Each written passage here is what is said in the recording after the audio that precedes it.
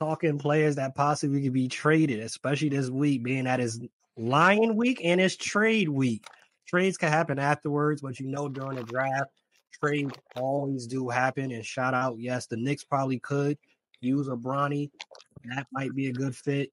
Play his role, definitely. But trade options. One of the names that came up in the conversation, Jimmy Butler.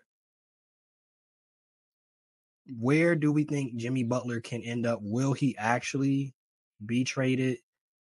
Where would be a possible good destination for Jimmy?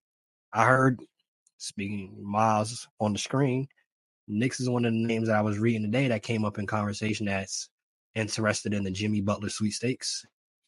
I mean, I understand that. I that would make sense from the, the standpoint of you know Thibs loves his guys. Like he was bringing back D Rose when he was on one leg, and Taj Gibson when he was running the Brooklyn half mile, half marathon. So like that's definitely a possibility to come to New York. I wouldn't mind it. Like we need guys who have that like win first mentality, but I'd also pass if I'm the Knicks just because we've seen it. He kind of like cruises through the the regular season and then turns it on the playoffs. Like that's not going to fly with Thibs. So, um, but a team that I could see him going to maybe sign and trade with the Clippers. Maybe I mean PG. There's a lot of smoke about him opting into his player option and then requesting a trade, which I, I'm thinking is a lot more likely to happen than him just opting for free agency because um, for the matching salaries that would be necessary if he's going to be traded somewhere. But like Jimmy going to the Clippers, that would give them a little more time. You know, him, Kawhi, maybe that would convince Harden to come back. Although I don't know if I I'd want to convince Harden to come back. But I mean, I like a, a, core of Jimmy and Kawhi if they can both stay healthy. That's the risk. Like those are two guys who, I mean, for the most part, they do get banged up a little bit.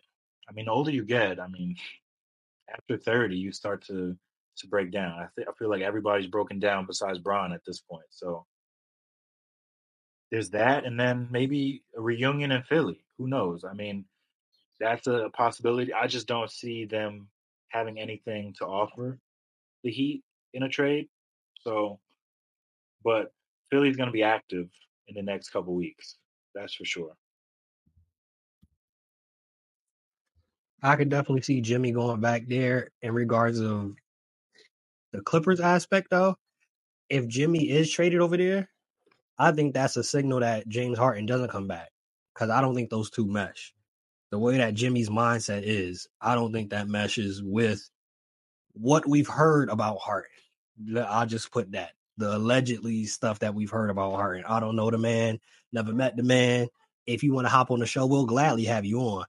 But I don't think Jimmy's personality, which is acquired taste by most, would work with James Harden, who kind of has the laissez faire, I want to have fun mentality.